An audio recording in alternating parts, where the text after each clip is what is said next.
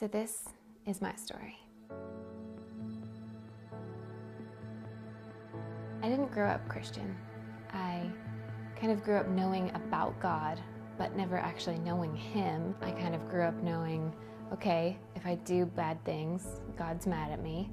If I do good things, He's not mad. So just keep Him happy, don't do bad things, and you'll be fine. And also, I feel like a lot of the circumstances in my life made me believe that I wasn't good enough or that I needed to be something else or live up to something in order to be received and loved.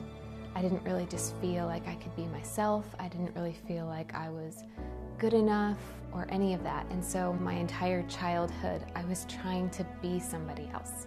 I was trying to be the 4.0 student. I was trying to be good at all the school activities and the sports and try to be all these things to be loved. And I just never found it. I just never found that longing in my heart to be loved, to be accepted just as I was.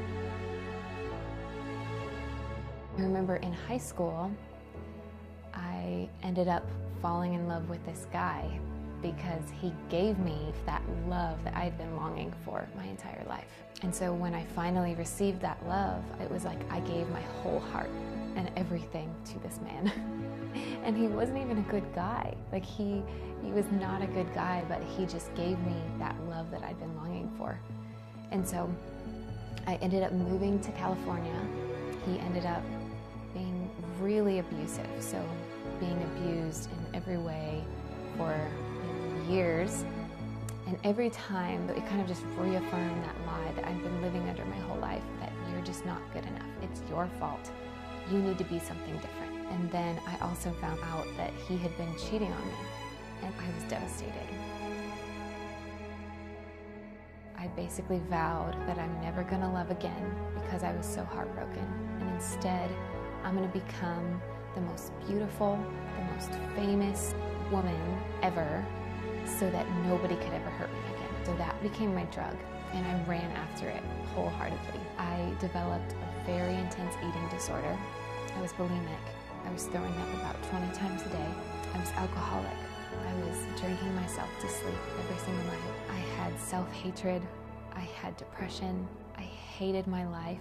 But as long as I was beautiful and as long as I was successful, that to me was all that mattered. So I tried to get into the modeling industry and there was like instant success. In a moment, it felt like I was on magazine covers and posters, working at all these amazing events. I was dating famous athletes. It looked like the life of glitz and glam that everyone wanted. And it might look good on the outside, but you have no idea the prison that I am in every day.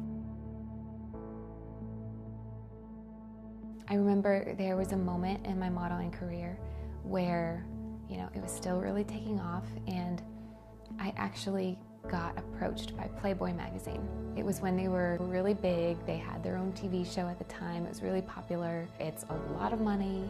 It's a lot of exposure. It's like instant fame. I remember just kind of thinking about it that night and I was like, wow, like what if someday I get married? What if my husband doesn't like that I've done this. Like, wow, this is real life. Like, my decisions today actually could affect my tomorrow. Like, how did I even get here? I was this 4.0 student, and now here I am about to sign up for Playboy. Like, how did I get here? And so, in the wrestling, I tried to remember when was the last time I was happy? And I actually remember that it was when I was a kid and I went to church and when I thought God still loved me. And at this point, I had sinned so much. Like I was just in a life of sin. And so I thought, surely God is done with me. But something within me was saying, that was the last time I was happy. So I show up at this church, and just so happens they were having a young adult retreat that weekend. And I just felt like Supposed to go. So I went, and on the second day of the retreat, they were having this thing called God Time where you'd get out a journal and you'd get out a Bible and you would talk to God and then you'd hear what He had to say. The thing that really struck me was I opened up my Bible and I ended up turning to this book called Hosea.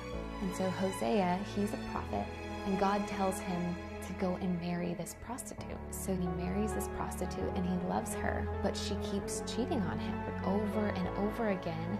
And Hosea goes back to God and he's like, God, my heart is breaking. My wife is cheating on me. And the Lord says, Hosea, I want you to go and keep loving your wife because that's how I love my people who keep running away from me. Though they don't love me back in this moment, I keep loving them. And I remember it just struck me.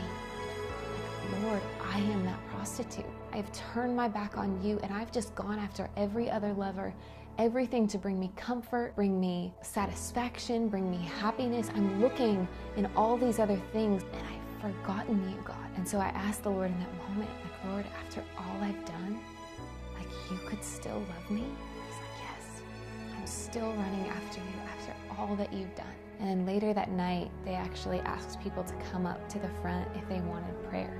And again, something within me told me to go up there. I go up there to get prayer, and this lady starts praying for me. And she says, Melissa, everything you've ever been told in your life is a lie.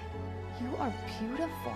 You are wanted. You are precious to the Lord just the way that you are. You don't need to change for anybody. And that that was the lie I had lived under my entire life was you're not good enough. And when she said those words, it was just like an arrow that pierced my heart it was like the Lord just saying, all those times where you never felt good enough, I always said that you were good enough. I loved you just the way you are. You never needed to change. You never needed to seek love from all those other people. I loved you just the way that you were. I created you that way and I love you. And I remember when she said those words, I just started sobbing. It was as if years of pain was just getting broken off of me and I just wept. Literally in a moment, I could feel my eating disorder getting broken off of me, self hatred, depression, alcoholism. In a moment, I got delivered of all of those things. And I remember the next morning, I woke up and I truly was a new person. I was not the same. I woke up and for the first time in my life, I felt joy.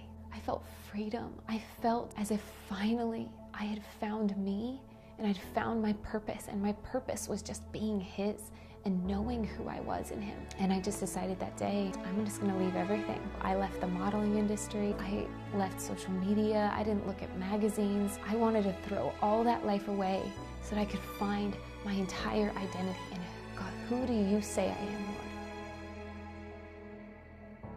I joined this internship where they prayed and they did community for the first like year though. He just had to strip me of everything that I held on to and it was like every step of the way the Lord was like, Melissa, just keep trusting me and finding your identity in me. And so I just would cry, but I would just give it to him and trust him. And over time I just realized, Lord, you're better.